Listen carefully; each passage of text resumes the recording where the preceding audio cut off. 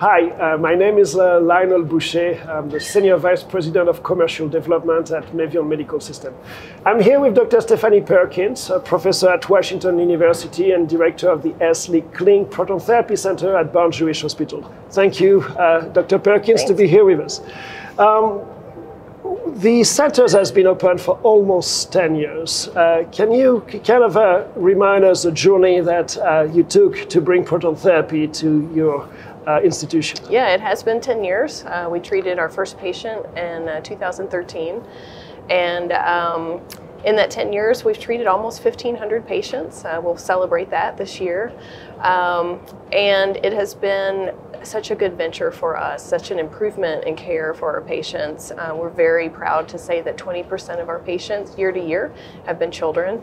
Um, but we've also used proton therapy for a wide variety of cancers and are really trying to change the field, um, push things forward uh, for our patients and for the technology.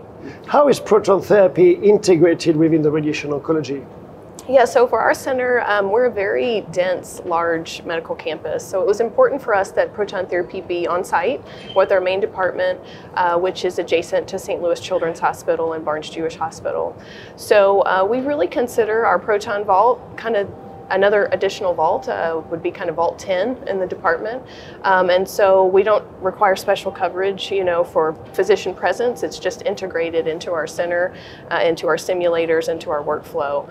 Um, and that has been really important to us. We did not uh, we didn't envision the proton center being a satellite location. We really envisioned it being on site with our main department.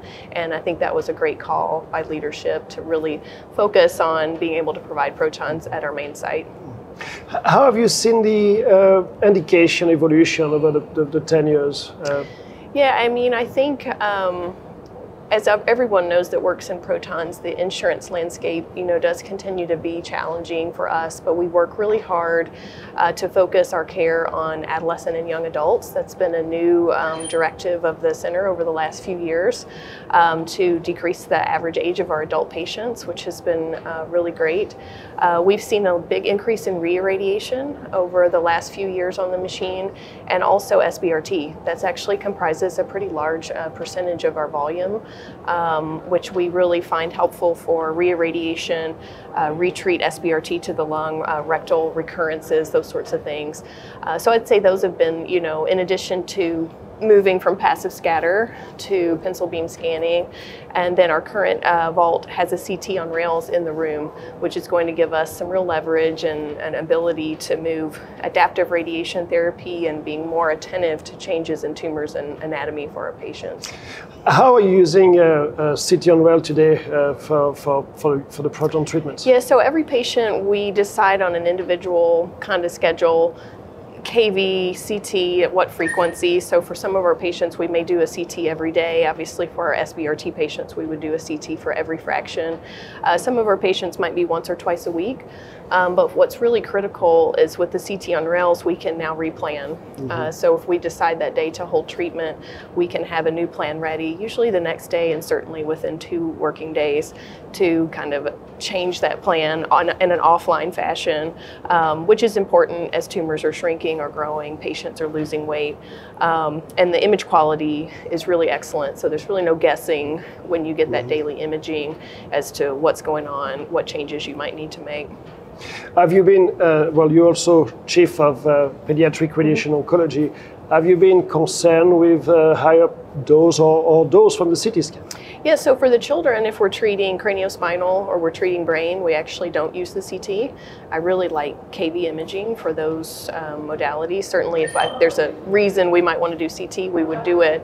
Um, but we have a low dose protocol that physics has um, made for us, uh, which we think is really important for the children, giving pretty low dose compared to you know cone beam CT that we would do over on the X-ray side. As chief of pediatric radiation oncology, how does proton therapy fit within your practice? Yeah, I mean, it's um, it's just becoming increasingly critical to have proton therapy available for the kids. Um, so when we meet with parents, it uh, you know for most all of our definitive treatments, um, proton therapy is our treatment of choice, especially for our brain tumor patients. Um, and we see them in the main department and simulate them in the main department, and then they transition over to the proton center. Um, but being on site with St. Louis Children's Hospital, having pediatric anesthesia available, um, has been pretty seamless in allowing us to provide that care for our kids, whether they're inpatient or outpatient. Um, we certainly do a lot of craniospinal. Um, the last time I looked, about a third of our pediatric mm. patients required craniospinal. Um, so, you know, that's uh, a pretty, pretty big part of the service and something that we've streamlined at this point to be straightforward and pretty easy for even pretty young children to complete without sedation, which is great. What percentage of uh, pediatric patients are sedated? Usually? Yeah, so we work really hard to try and reduce that as much as possible. We participated in the Stanford study with the Avatar system to provide uh, movies that the children can watch. We have a full-time child life specialist at the Proton Center, but even with those efforts, 40% of the kids still require sedation for either all or part of their treatment, um, which is fine. Um, you know, we have the resources to do that, but certainly any Proton Center ready to treat kids, it's going to be a big part of of that practice to, to provide that daily sedation. So, what are the typical treatment time uh, that you see from pediatric patients, either CSI or, or other intracranial? Yeah, we kind of tell patients in general treatment time will be around 10 minutes per field, you know, and that's probably more like five to 10 minutes per field. So for a posterior fossa boost, that's going to be a three field treatment. Those kids should be in and out in 20 to 25 minutes. Uh, for craniospinal, we, for the short kids, for little kids, it'll be about 35 minutes. And then for tall um, adolescents, maybe 45 to 50 minutes uh, to kind of march down through those fields.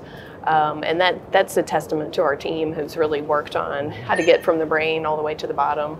Um, but I think uh, even compared to X-ray therapy is, is quite rapid treatment and certainly much better dosimetry than mm-hmm. X-rays.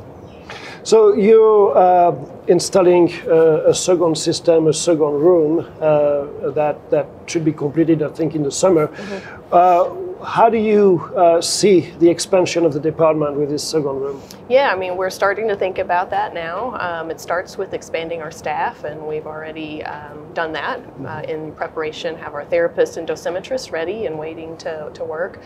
Um, I think it's a time for us to really think about more complicated things that we're a little unable to do because we're busy with our one room. Um, adaptive. Uh, proton therapy is really uh, something that our department is known for on the x-ray side and we're ready to move that expertise into the proton side. Uh, again with the ct on rails we have all that data in the room um, and so we're hoping um, to treat our first proton adaptive this year. We'll see how that goes um, in addition to um, you know moving to the new machine, deciding kind of where to put people and just growing the service, um, I think it's an exciting time to be able to offer this therapy to more patients mm-hmm. uh, in the department. So, uh, in, in terms of research, uh, your team is, has been very productive in, in terms of research in radiation therapy. But w- what is the focus today uh, by your team, uh, you yeah. and the physics team? Yeah, uh, research, you know, obviously for clinical research, we have some clinical trials available in the department. Um, uh, our institutional study on retreat for rectal recurrences with SBRT has accrued really nicely. Um, we are moving forward with proton grid therapy. So for those that are used to grid or lattice on the x-ray side, being able to treat very large tumors that otherwise are not very treatable. So our proton team is working on that and um, really hoping to do a three fraction grid treatment for proton patients starting this summer or this fall. Um, physics really leads the way in uh, research at our um, at our center. Uh, they're interested in flash dosimetry. They're interested in thermoacoustic um, detection of dose distribution from proton therapy. I mean, the list really goes on and on. Um, and then adaptive, I think, is also kind of in that clinical physics range of how do we do that in real time. Um, from a basic science uh, standpoint, we're very interested in flash, uh, flash dosimetry, and the limitations that we currently have as a, as a society.